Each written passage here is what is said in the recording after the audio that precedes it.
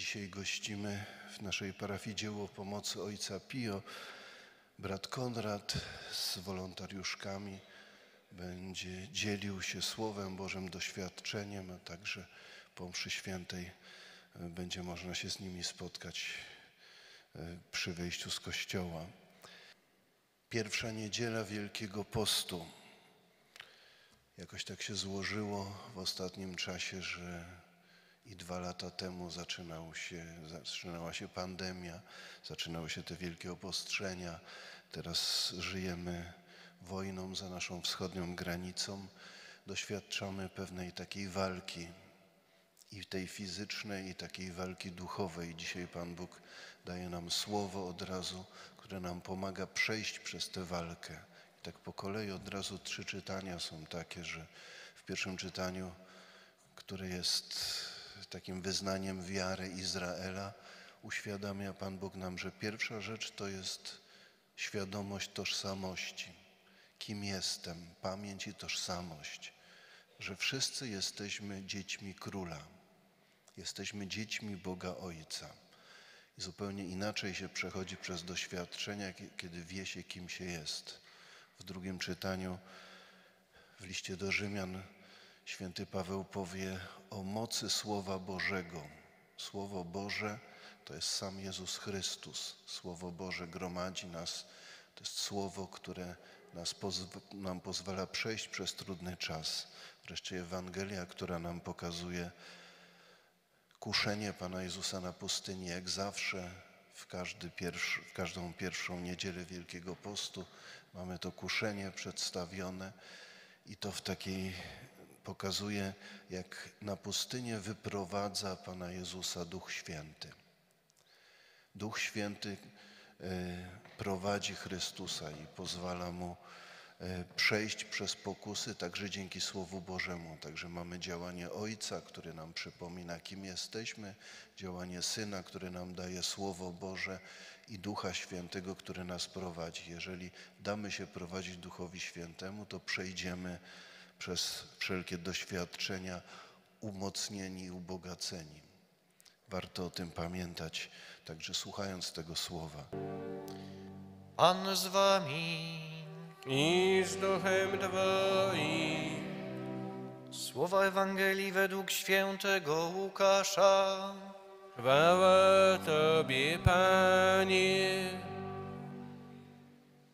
Pełen Ducha Świętego powrócił Jezus z nad Jordanu, a wiedziony był przez Ducha na pustyni czterdzieści dni i był kuszony przez diabła. Nic przez owe dni nie jadł, a po ich upływie poczuł głód. Rzekł mu wtedy diabeł, jeśli jesteś Synem Bożym, powiedz temu kamieniowi, żeby stał się chlebem.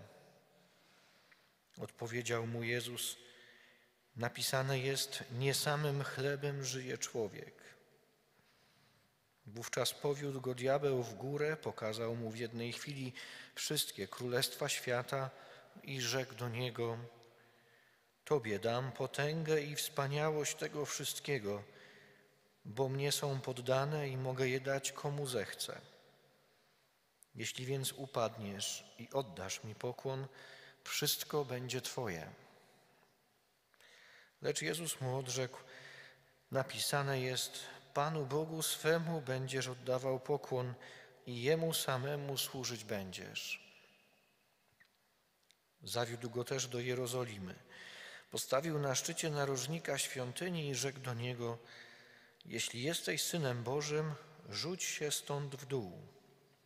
Jest bowiem napisane, aniołom swoim da rozkaz co do Ciebie, żeby Cię strzegli i na rękach nosić Cię będą, byś przypadkiem nie uraził swej nogi o kamień. Lecz Jezus mu odparł, powiedziano, nie będziesz wystawiał na próbę Pana Boga swego. Gdy diabeł dopełnił całego kuszenia, odstąpił od niego do czasu. Oto słowo Pańskie. Chwała Tobie, Chryste. Pan obdarzy Was spokojem, drogie siostry i bracia. Nie wiem, czy kiedyś się zastanawialiście, dlaczego Jezus poszedł na pustynię w ogóle. Przecież dlaczego pościł, czego wszedł w takie doświadczenia ascezy, ogołocenia, skoro choć był w pełni człowiekiem, był człowiekiem, który jest bez grzechu. Czyli nie musiał się z niczego nawracać, nie musiał zmieniać niczego w swoim życiu. To myślę, ważne pytanie, nie? Dlaczego, dlaczego wyszedł na pustynię? Musimy uwierzyć, że jeśli Kościół daje nam to słowo i, i to wydarzenie jakoś też mamy na początek Wielkiego Postu przedstawione, to jest wydarzenie ważne dla nas. Czym jest pustynia w ogóle? Możemy pustynię, tak opisując ją najłatwiej, możemy opisać przez właśnie jakby rodzaj pewnego miejsca geograficznego, ale jednocześnie też symbolicznie możemy odnieść to, to, to pustynne doświadczenie do życia naszego duchowego. Zobaczcie, że na pustyni jest taka sytuacja, że nasze potrzeby są często trudniejsze do zaspokojenia niż, niż w rzeczywistości. Nie? Część z nich wychodzi, tak sobie wyobrażam, jak jestem na pustyni, nie, to e, część z nich wychodzi i okazuje się, że są dość silne. Nie? Żyjąc na, na, na co dzień, w, w, z dnia na dzień, w jakiejś takiej poukładanej rzeczywistości, możemy nie mieć świadomości żadnej tego, jak, jak bardzo gdzieś one są wewnątrz nas, y, jak one oddziałują na nasze decyzje i tak dalej. Nie? Dopiero taki moment ogołocenia sprawia, że one są wyraźne. Nie? One coś mówią o nas. Wystarczy sobie przypomnieć, jak to jest, jak sobie źle poukładamy posiłki i, i po prostu głodniejemy, nie, nie mamy jak zjeść na przykład i co się z nami dzieje. Nieraz złość jest trudniejsza do opanowania niż w innych sytuacjach. Nie? To jest takie jedno doświadczenie, które pokazuje, że mm, właśnie w, w sytuacjach, w których nie mamy wszystkiego, których, których y, właśnie w taki sposób symboliczny rozumienie pustyni, że, że w sytuacjach, w których y, jakoś, jakoś jesteśmy ogołoceni, czy przez samych siebie, bo, bo wybieramy taką drogę, jakąś ascezy, czy przez życie, które nas coś wprowadza, właśnie widzimy, że mm, nie możemy polegać tylko na sobie. Jak nam zaczyna brakować, nie, to zachowujemy się trochę inaczej. Nie? I to słowo pokazuje, że właśnie takie sytuacje lubi zły duch wykorzystywać wtedy to, co wyjdzie. Nie? Kusić nas właśnie na poziomie tych naszych różnych rzeczy, które kiedy głodnieją, kiedy nie doznają tego te, jakiegoś, jakiegoś wypełnienia, to, to kusi nas do różnych rzeczy wtedy, nie? używając tych, tych rzeczywistości. Myślę, że to się sprawdza w wielu aspektach naszego życia duchowego. Ale z drugiej strony, wiecie, pustynia to jest też takie doświadczenie, w którym przez to ogołocenie, przez to, że ja może nie daję sobie już rady ze wszystkim, też widzę, że e, jak wiele rzeczy właśnie ode mnie nie zależy, nie? Że, że muszę się oprzeć o kogoś większego. Nie? Dla nas wierzących to jest Pan Bóg. Zobaczcie, mamy takie przysłowie, nie? jak trwoga to do Boga. Nie? No bo jak wchodzimy w doświadczenie pustyni różne w życiu, czyli jakiegoś trudu, nie? sytuacji, która jest dla nas za, za trudna, za ciężka, to jakoś tak, no właśnie wiemy o tym, że tak jest trochę, że, że nasze serce się wtedy zwraca ku Panu Bogu. Nie? Już widzimy, że właśnie nie wszystko od nas zależy. I doświadczenie pustyni to jest takie doświadczenie właśnie, w które Jezus też wszedł właśnie, myślę, że między innymi dlatego, żeby wejść tą zależność od Pana Boga na poziomie przeżywania jej. Nie tylko, wiecie, myślenia czy deklaracji, ale na poziomie przeżywania. Wyszedł na pustynię akurat fizycznie Jezus, nie? jak kiedyś Izrael i miał możliwość doświadczyć tego, że to Pan Bóg się zaczyna troszczyć. Nie? I jednocześnie doświadczyć tego, że, że, że te wszystkie rzeczy, których nagle mu zaczyna brakować, myślę, że często może nawet nie dostrzega tego człowiek, który wychodzi na pustynię taką czy inną, że te rzeczy, które były codziennością, e, no może właśnie się mu nie należą. Że, że bez nich nie żyje się tak łatwo, a może stały się oczywistością w naszym życiu. Dzisiaj chcę dzielić się z Wami moim doświadczeniem pracy z osobami bezdomnymi w dziele pomocy świętego Ojca Pio. I myślę, że właśnie ten klucz, który który tutaj trochę podaje nam Ewangelia, jest też dobrym kluczem, czy jakąś próbą zrozumienia problemu bezdomności, czy też innego rodzaju biedy, jakiego, jakie, jaką możemy spotkać. Nie?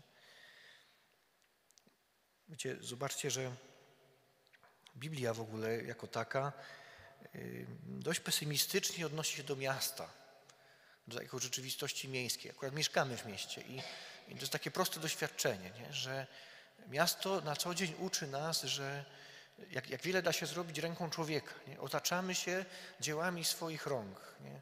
Budynki stoją, są przygotowane na różne warunki atmosferyczne, dają ciepło, dają bezpieczeństwo. Jest system, który doprowadza nam wodę, odprowadza ścieki. To wszystko działa. Nie? Wszystko, wszystko człowiek wymyślił, nie? skonstruował i otacza się właśnie dziełami swoich rąk. I może często nieświadomie przez to łatwo jest nam zapomnieć, nie? że to nie jest tak, że jesteśmy zależni tylko od siebie. Bo w wielu sytuacjach tak jest, nie? że to wszystko jest dla nas takie oczywiste.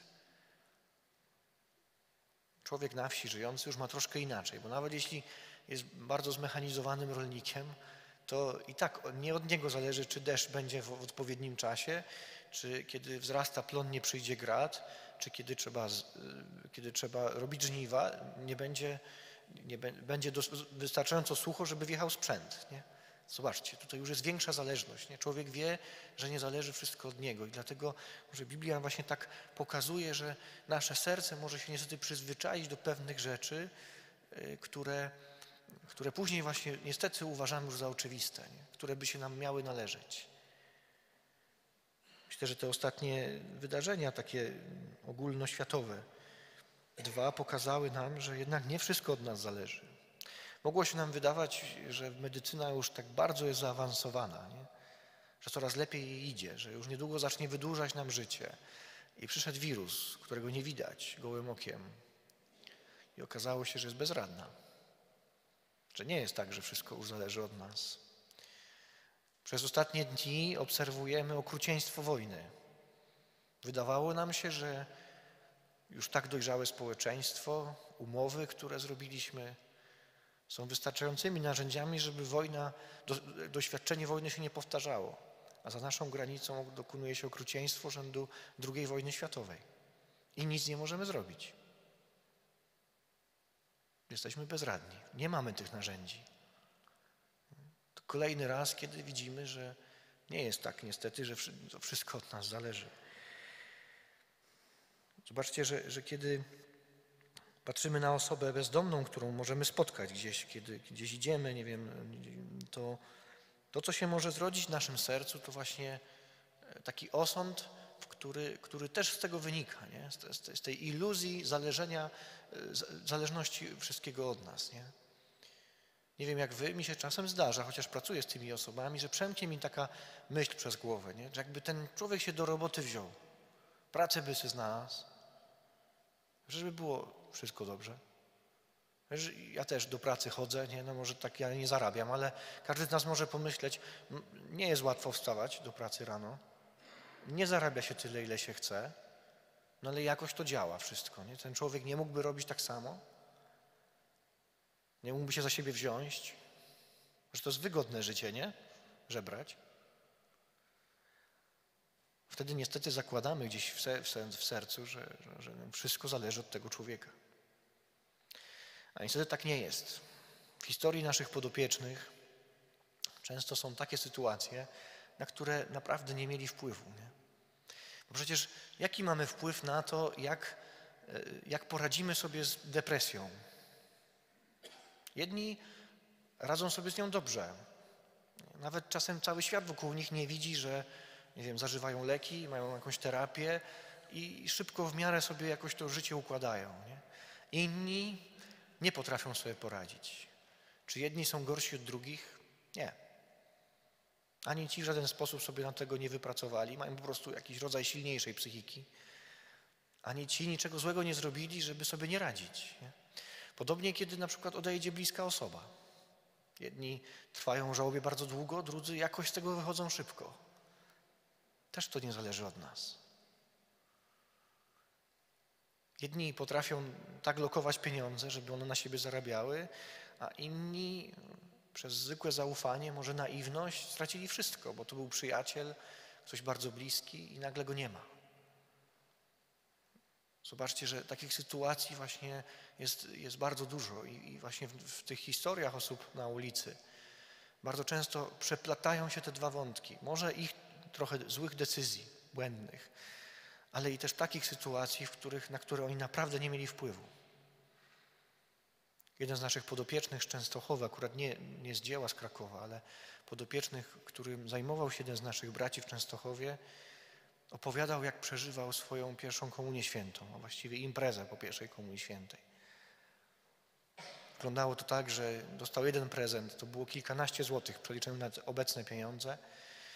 I za kilkanaście złotych sobie kupił jako prezent, wiecie, dwa bochenki chleba i trzy słoiki dżemu. To był jedyny posiłek, który cała rodzina zjadła w tym dniu. Wszystkie pieniądze szły na alkohol. Piła i mama, i tata. Było tam ogromnie dużo agresji. Ten siedmioletni chłopak nie miał żadnego wpływu na to, że w takiej rodzinie się urodził i w takiej funkcjonował. Ja niczym sobie nie zarobiłem na to, że nie urodziłem się w rodzinie patologicznej, że mam kochających rodziców, że ja jestem przekonany, że jakbym nawet coś tam nawywijał potężnie, to póki żyją mi pomogą. Jestem przekonany. Ale nie spisywałem umowy z nimi, nie płacę im ubezpieczenia za takie usługi. Po prostu tak mam. Nie, nie, mają, nie mamy wpływu na takie sytuacje. Nie mamy wpływu na to, jak w obliczu kryzysu zareaguje na przykład nasza rodzina i najbliżsi. Czasem może się wydawać, wiecie, że bezdomność to jest kwestia właśnie pieniędzy, nie? tego, że ktoś coś źle pomyślał, nie umie sobie radzić w życiu. Tak naprawdę w głębi bezdomność to jest problem relacji. Ilu ludzi sobie nie radzi w życiu przecież w naszych rodzinach i jakoś cała rodzina im pomaga. Nie? Zobaczcie. Bezdomność to jest problem, że, że w tym momencie, kiedy jest jakiś kryzys, jakiś, jakiś taki krytyczny moment życia, nie ma obok człowieka, który, nie wiem, zaprowadzi do lekarza, wyśle na leczenie, na odwyk, zatroszczy się o tego człowieka, pożyczy mu pieniądze i tak dalej, i tak dalej. Wiecie, to jest problem bezdomności, dlatego ludzie lądują na ulicy często, bo ludzie się w pewnym momencie od nich odsunęli. Już nie zostaje nikt, kto jest w stanie do niego wyciągnąć rękę. Pan Jacek Częstochowy w wieku 14 lat stwierdził, że odchodzi z domu. Nie da się tak żyć w tym domu, skoro nie ma jedzenia i cały czas jest awantura, kłótnia, bitki. Odchodzi. Nie było człowieka, który powiedział mu, to nie jest dobry pomysł. Jacek wylądował na ulicy w wieku 14 lat. Ponad 30 lat spędził na tej ulicy. Sam, będąc później już alkoholikiem. Zobaczcie, że ta rzeczywistość nie jest taka prosta. Chcecie posłuchać, co było dalej z panem Jackiem? Ta historia się na szczęście kończy dobrze. Otóż po wielu, wielu latach pan Jacek, jako bardzo poważnie pijący alkoholik i bezdomny, mieszkał w Częstochowie, przypominam, czyli trafił, poszedł się pomodlić na Jasną Górę, poszedł pod wpływem alkoholu. I słuchajcie, kiedy tam przyszedł, powiedział Panu Bogu, mówił, że na głos to miał powiedzieć, że Panie Boże, proszę Cię, zabierz ode mnie ten nauk, bo ja sobie sam z tym nie poradzę. I jak inaczej nie poradzę sobie ze swoim życiem. Jak mi tego nie pomożesz, że tego nie zrobisz. Jeden dzień później udało mu się nie wypić. Drugi dzień później udało mu się nie wypić. Trzeci dzień mu się udało nie wypić, po czym na czwarty niestety wrócił do alkoholu. Ale najwidoczniej Pan Bóg spełnił jego prośbę, tylko może w inny sposób niż Pan Jacek chciał. Wyobraźcie sobie, że w tym momencie, kiedy się napił, bardzo źle się poczuł. Nigdy się mu tak nie działo po alkoholu. Trafił na izbę przyjęć czy na SOR i tam, słuchajcie, może pierwszy raz w jego życiu trafił na osobę, która potrafiła w nim zobaczyć po prostu człowieka. Nie patrzyła na to, że nie ma ubezpieczenia. Nie patrzyła na to, że jest podpity. Nie patrzyła na to, że nie wiadomo jak później będzie z nim, kto zapłaci za jego leczenie. Była to młoda pani doktor, która wzięła go na normalne badania. I w wyniku tych badań okazało się, że jego serce bardzo źle pracuje, więc powiedziała mu, żeby został. Prawda? Został w szpitalu, bo trzeba zobaczyć, bo może umrzeć każdej chwili, bo to serce źle pracuje. Wiecie, co pan Jacek powiedział wtedy? Że się wypisuje na własne żądanie. Zdziwiona pani doktor zapytała, dlaczego? Przecież nie może pan się wypisać w takim stanie. On wtedy odpowiedział, że po pierwsze jest pijany, po drugie śmierdzi, po trzecie nie jest ładnie ubrany, a będzie leżał z ludźmi na oddziale. I nie może tak leżeć. Wypisał się na własne żądanie i nad ranem wrócił, umyty, i dał się położyć na oddział. Kiedy po latach, dzisiaj już mieszka, pracuje jako ochroniarz w Biedronce, kiedy po latach dostał mieszkanie socjalne po spłacie długów, bracia zadzwonili do niego i zapytali go, co chciałby na prezent. Odpowiedział, że na to nowe mieszkanie strasznie chciałby pralkę. Więc braciom udało się kupić nową pralkę, zrobić mu taką niespodziankę, umówili się z nim, nie mówili, że ta pralka przyjedzie. Przyjechał kurier z tą pralką i pan się rozpłakał. To był jeden prezent, jedyny, z którego się pan Jacek rozpłakał. No i bracia pytają, dlaczego mu tak zależało na tej pralce? Jest wiele rzeczy, które możemy mieć, chcieć w domu, ale pralkę akurat? I pan Jacek odpowiedział wtedy, że żyjąc tyle lat na ulicy, marzył o tym, żeby chodzić w czystych rzeczach i pachnieć. I dzisiaj pan Jacek pierze wszystko, co się da. Co drugi dzień jest pranie w domu. Wszystko jest wyprane i pachnące. Ale mówię wam tą historię, żeby zobaczyć, że my czasem, kiedy patrzymy na osoby bezdomne, możemy się zatrzymać na tym, co najbardziej widać. Na tym, że śmierdzą, na tym, że się nie umieją ubrać. Ale ta historia pana Jacka pokazuje, że w ich sercu wcale nie ma na to zgody, żeby tak ich życie wyglądało. Tylko wpadli w taki, w, e, można powiedzieć, w, w taki kryzys, z którego sami nie mogą się wydobyć. Żeby wejść trochę w taki świat osoby bezdomnej, no, zaproponuję Wam takie małe doświadczenie, które łatwo nam dzisiaj jakoś, myślę, sobie wyobrazić, bo żyjemy jeszcze w pandemii, bo jeszcze jej nikt nie odwołał. Pamiętacie, jak było na początku, nie? Słyszeliśmy te ograniczenia, nie? Nie wolno ci iść do teatru, nie wolno ci iść do kina, nie wolno ci wchodzić do kościoła, jak jest za dużo osób, nie wolno chodzić bez maseczki, nie wolno spędzić wigilii więcej niż pięć osób. Do lasu też nie wolno wchodzić. Nie wolno, nie wolno, nie wolno. Do restauracji nie wolno. Był nas bunt. Nie, nie, nie, nie pasowało nam to. Myślę, że po pewnym czasie już mieliśmy wszyscy dość tego, nie? Ale mamy wszyscy takie przekonanie, myślę, ja przynajmniej mam, że to się w końcu skończy, nie? że ściągniemy maseczki, będziemy tylko dzieciom o tym opowiadać, będziemy normalnie podawać sobie rękę, przytulać się, jeśli będzie trzeba i jak ktoś obok nas kaszle, nie zastanowimy się, czy ma test już, czy jeszcze go nie zrobił. Nie? To się skończy i o tym zapomnimy. Osoba bezdomna to jest osoba, której nie wolno wejść do kina, nie wolno wejść do teatru, nie wolno wejść do restauracji, nie wolno skorzystać z siłowni czy z basenu. Chociażby ją było stać, przecież to nie są takie drogie rzeczy jednorazowo. Źle jest widziana w komunikacji wiejskiej, źle jest widziana w sklepie i to się nie zmieni. Na co dzień widzi tylko, że jej wolno, jej nie wolno, a innym wolno. I tego się spokojnie, powoli uczy. Że jedyne, czego potrzebuje, to dzisiaj zjeść. Dlatego z nami komunikuje się po pewnym czasie już tylko przez wyciągniętą rękę prosząc nas o kupienie czegoś czy danie pieniędzy. Wiecie, zobaczcie, że ten świat wtedy tej osoby bezdomnej się zwęża do tej jednej potrzeby. I my też często niestety wpadamy w ten sam problem, że patrzymy na te osoby w, w, w, tylko przez tą jedną potrzebę, którą się nami komunikują. Nie chcę dawać gotowych rozwiązań, czy kupować, czy nie kupować, bo to bardzo zależy od danej sytuacji. Myślę, że pomaganie na ulicy w dziele się już tego nauczyliśmy, że pomaganie na ulicy na dłuższą metę może szkodzić. Dzisiaj kupisz ty, bo masz dobre serce i chcesz się podzielić. Może nawet potraktujesz to jako jałmużnę. Jutro zrobi to ktoś następny, pojutrze ktoś następny, a ta osoba z czasem pomyśli, no tak, wystarczy mi takie życie. Jakoś to będzie, jutro też mi ktoś kupi. Ta pomoc jest ważna z punktu widzenia tego dnia, tej godziny, ale z punktu widzenia procesu może go zatrzymać.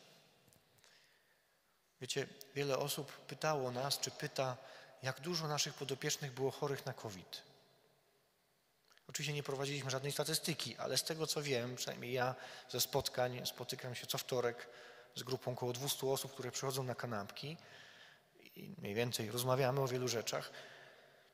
A ile wiem, to te osoby, które żyją w najgorszych warunkach, czyli są na dworcu, na ławkach, pustostanach, na wagonach, w ogródkach działkowych, w tak zwanej, my to nazywamy przestrzeni, się nie zarażały. A wiecie dlaczego? Żeby COVID-em się zarazić, wiemy dobrze o tym, trzeba mieć kontakt, bliski kontakt. One go nie mają. Paradoksalnie uratowało ich to z jednej strony, a z drugiej strony nam pokazało, jak daleko jesteśmy od tych osób, fizycznie już nawet. Dlatego, kiedy ktoś Was prosi o jedzenie, o danie pieniędzy, zachęcam Was do tego, żeby porozmawiać. Ja mam takie doświadczenie, że kiedy rozmawiam na plantach w Krakowie, czy gdzieś tam, gdzieś przechodzę w habicie, jestem zaczepiony, to po pięciu minutach prostej rozmowy, prostej rozmowy, nie? o imię nawet można zapytać, zapytać o to, gdzie ktoś dzisiaj spędził noc, jak to się stało, że jest na ulicy i jak długo to trwa, skąd pochodzi. No, pytań jest dużo, które nie są wcale takie intruzywne. Nie? To te osoby często po takich pięciu minutach rozmowy zapominają, o co prosiły. Otwiera się, nad, otwiera się wspólnie jakaś przestrzeń nowa dialogu, której już nikt z nimi dawno nie prowadzi. Może policja, kiedy ich spisuje czy daje mandat. Dzisiaj chcę Wam bardzo podziękować, bo wiem, że dużo osób nas wspiera. Przez 1%, przez datki różne i przede wszystkim przez modlitwę. I dzisiaj też Was proszę o to, by, byście pamiętali w swoich modlitwach o nas. Potrzebujemy na pewno dwóch rzeczy i to tylko Pan Bóg może nam je dać. Po pierwsze wytrwałości. Wiecie, ta praca z osobami naszymi podopiecznymi, ponad 1600 osób jest pod naszą opieką. Dziennie przechodzi około 300-400 osób przez oba nasze centra. To jest taka praca, wiecie, trochę jak w Chińczyku, tej planszówce. Nieraz trzeba wracać na start, powielokroć. Inaczej nie nauczymy naszych podopiecznych tego, że my ich nie opuścimy, my ich nie zostawimy, że może im się potykać noga, nie? że nie, nie, cof, nie, nie, nie, nie przywróci się ta historia z kiedyś, kiedy się potknęli i wszyscy ich zostawili. Ale do tego trzeba dużo wytrwałości i wierzę, że tylko Pan Bóg ją daje i bardzo Was proszę o tą modlitwę. I proszę Was też o modlitwę do Ducha Świętego, o, o taką, taką otwartość dla nas, gdy chodzi o, o, o ciągłe uczenie się, jak pomagać. Nie jesteśmy ekspertami, nie sądzę. Wiele się jeszcze musimy nauczyć i też wierzę, że Pan Bóg może nas, będzie nas kierował, jeśli będziemy Mu ufać, będziemy Mu posłuszni, będzie nas kierował w stronę najbardziej skutecznej pomocy. Nie? Cały czas próbujemy delikatnie zmieniać te programy, żeby one najbardziej odpowiadały danym potrzebom. Człowiek też się zmienia i bezdomność się zmienia. Będziemy też wolontariuszami stali przed kościołem. Jeśli chcecie nas wesprzeć, też bardzo dziękuję. Będziemy z puszką. Będzie też można wziąć ulotkę o nas, dowiedzieć się czegoś, czy wziąć PIT do, do 1%, jeśli ktoś by chciał nas też wesprzeć w taki sposób. Chciałbym na koniec jeszcze Wam opowiedzieć historię, która mnie poruszyła. Pewną. To jest historia, która, właściwie obejrzałem to na YouTubie jako filmik taki, w którym kilku młodych chłopaków w Stanach Zjednoczonych zdecydowało się, zdecydowało się zrobić taki mały eksperyment. Weszli do pizzerii z ukrytymi kamerami i jeden z nich ucharakteryzował się jako osoba bezdomna. Przechodził od stolika do stolika, póki nie został wyproszony, bo dość szybko został wyproszony, prosząc o kawałek pizzy, bo jest głodny. Nikt z siedzących się z nim nie podzielił. Najczęściej zapadało milczenie.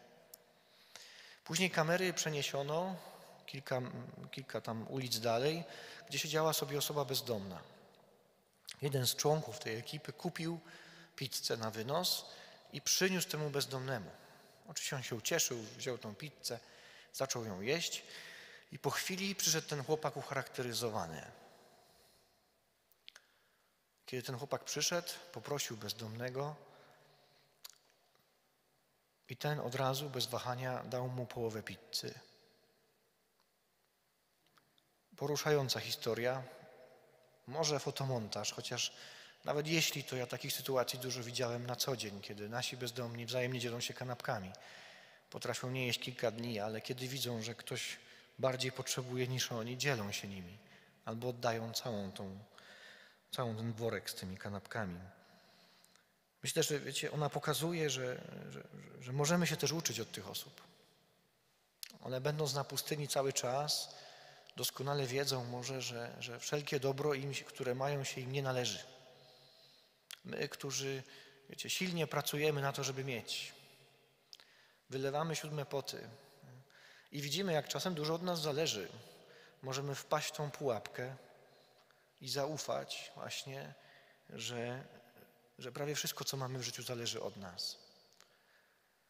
Kiedy mieliśmy Wigilię w tamtym roku, jeden z naszych podopiecznych wychodził z tymi torbami z jedzeniem, a wtedy nie dzieliliśmy się opłatkiem, tylko dawaliśmy go w takiej kopercie. I on wrócił się z powrotem, wiecie, z tymi torbami do brata, który mu pierogi dawał. Wyciągnął ten, wyciągnął ten opłatek i mówi do niego, bracie, bardzo cię proszę, możesz się ze mną podzielić opłatkiem? Bardzo cię proszę, ja nie mam z kim. Wiem, że jest pandemia, ale proszę, podziel się ze mną opłatkiem. Brat się oczywiście podzielił. Myślę sobie dzisiaj, wiecie, że ja nawet nieraz nie słucham tego, co człowiek do mnie mówi, kiedy mi życzy coś na Wigilię. Nie czytam do końca wszystkich SMS-ów czy dobrych życzeń w mailach, bo może nie mam na to czasu, nie? Ale nawet nie wiem, jakie mam dobro, ile dobra dostaję na Wigilię, bo się do niego przyzwyczaiłem. Ten człowiek musiał poprosić, żeby w Wigilię obca osoba powiedziała mu coś dobrego. To jest rzeczywistość tych osób, w których żyją. Zapraszam Was do tego, żeby wyjść na pustynię z Jezusem, nie bać się tego. Żyjemy w takim momencie akurat, w którym wiele rzeczy jest zachwianych.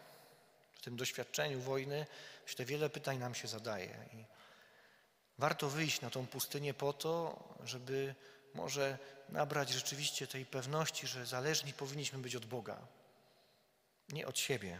Żebyśmy uwierzyli, że naprawdę wiele rzeczy od nas nie zależy. Że wiele dobra, które mamy na co dzień, nie jest uzyskane naszą siłą, ale dostajemy to od Niego, że On jest autorem wszelkiego dobra. Byśmy na nowo w to uwierzyli. Spróbujmy tak ułożyć nasze postanowienia wielkopostne. Myślę, że wtedy, kiedy sami się do tego przekonamy, nie będziemy tak łatwo innych oceniać przez to, ile mogliby zrobić, a nie robią. Nie będziemy przez tą, patrzeć na drugiego człowieka przez logikę, wiecie, zależności, bo spotykacie pewnie różną biedę. Niekoniecznie biedę bezdomności, ale w naszych domach jest bieda nieraz relacyjna, w sąsiedztwie, pracy. Myślę, że ważne, żebyśmy pamiętali, że nie wszystko zależy od tego drugiego człowieka. Zwłaszcza kiedy ta bieda bardzo nas dotyka i nas boli. Byśmy mieli serce zawsze, żeby nasze serce zawsze pozostało otwarte.